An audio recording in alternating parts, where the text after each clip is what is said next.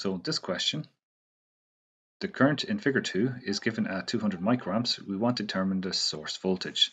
So this here represents the current I, which is 200 microamps. We're told the inductance is 100 millihenries. So what we have to do is calculate XL.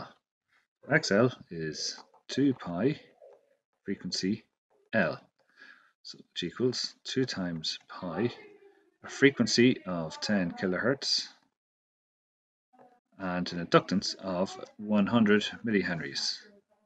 That's 100 millihenries. So when we calculate that out, we get a resistance of 6.28 kiloohms. So effectively, as we want to group these and find out what the impedance is. So we want to find the impedance Z.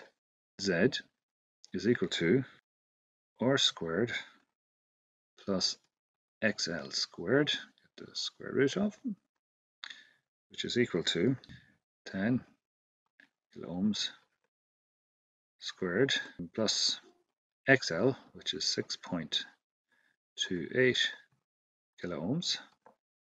We get the square root of that. And that gives us a value of 11.8 kiloohms. So this effectively becomes a circuit like this. That's Z.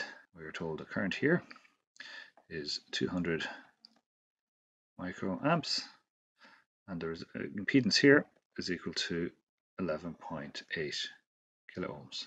We want to calculate I, so we want to determine the source voltage. We know that I is equal to 200 microamps. Z is equal to 11.8 kiloohms. Vs, source voltage, is equal to I times Z, which is equal to 200 microamps times 11.8 kiloohms. That equals 2.34 volts. That is your answer.